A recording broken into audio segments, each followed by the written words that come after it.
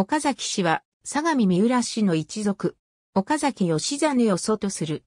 三浦義継の抜子で、三浦大輔義明の弟である義実は、相模国大従軍岡崎にちなんで、岡崎四郎と号した。これが、岡崎氏の始まりである。岡崎義実は、相模西部を支配した中村宗治総平の娘である、桂御前と結婚している。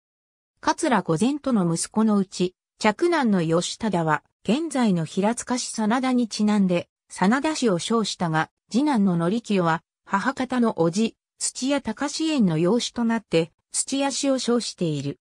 岡崎氏は、三浦氏の一族であるが、中村氏との婚姻関係及び、根拠地が総平一族の勢力圏にあることから実質的には中村党の一員と言った方が良い。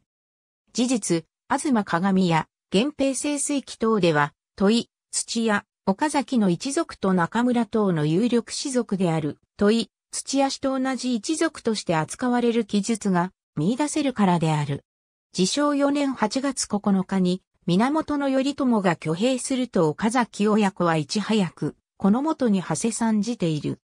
その後の石橋山の戦いでも、岡崎親子は他の三浦党とは異なり、中村党と共に従軍しているが、この場合も中村党の一員として従軍していると言った方が良い。石橋山の戦いは、源氏方の大敗で終わり、真田義忠は討ち死にした。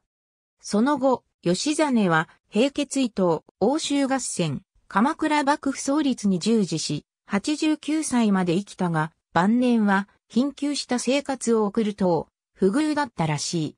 正治2年6月21日に、吉実が死ぬと、吉忠の着男で、孫の実中が後を継いだ。憲法元年5月23日に、一族の和田義盛が挙兵すると、実中は、叔父の土屋の力代や中村等と共に一族を引き連れて和田方に加勢した。